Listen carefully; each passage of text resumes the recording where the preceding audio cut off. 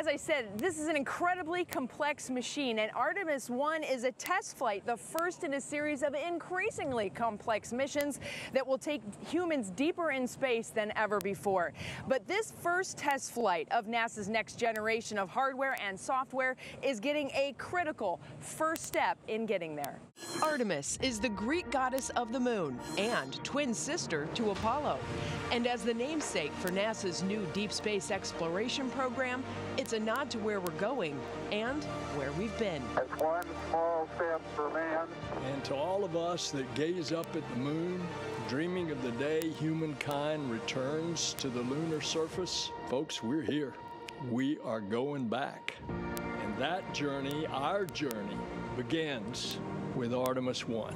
Artemis 1, the first flight bringing together the most powerful rocket in the world with a new human space capsule and all the upgraded infrastructure back here on Earth to make it a success. NASA built this mission on a solid foundation of know-how, creating more power, more technology, and more capability to propel us farther from Earth than ever before. There are four objectives with this uncrewed first flight. Priority one is making sure the Orion space capsule returns safely, and it's no small feat. Orion will be coming in faster and hotter than any human-capable spacecraft before, reaching speeds of up to 25,000 miles per hour and temperatures of up to 5,000 degrees. Engineers will closely follow how Orion's heat shield performs. Its re-entry conditions are so extreme, no facility on Earth can recreate them. This will truly be a one-of-a-kind test. Next, retrieving the Orion capsule after splashdown. Nothing will give engineers better information for how Orion performed than the capsule itself. They will also retrieve the parachutes that slowed its descent through the atmosphere. Third, testing out all that new gear. From the launch pad to the rocket system's precision time separation, the capsule's navigation, and of course the return to Earth, every facet of hardware and software debuted in this new era of space exploration will be scrutinized.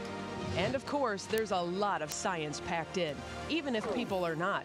And the experiments on board, from deploying mini satellites to how intense radiation will affect electronics and future astronauts, there's more than just rocket science happening here. On its 43 day journey, Artemis 1 will cover 1.3 million miles, equivalent to more than 50 trips around the world. And this is just the critical first step of several with eyes set on a lunar outpost and beyond in the next decade. But our eyes are focused, not the immediate future, but out there.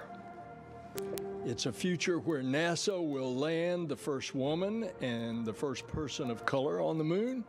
And on these increasingly complex missions. Astronauts will live and work in deep space and will develop the science and technology to send the first humans to Mars.